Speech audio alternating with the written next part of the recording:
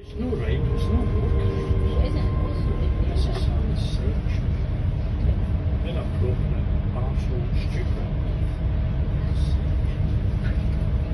This is the moment a commuter overheard Gordon Jackson QC publicly discussing the Alex Salmond trial.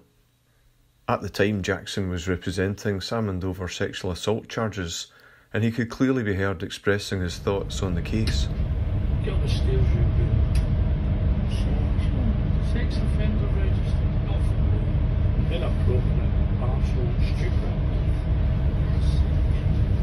He even risked being in contempt of court by naming two of the women who alleged Salmond had sexually assaulted them.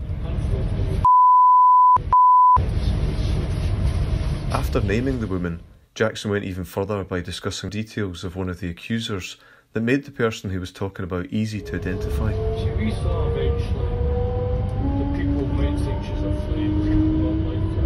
Jackson talks about the tactics he intends to deploy to discredit women's evidence against Salmond,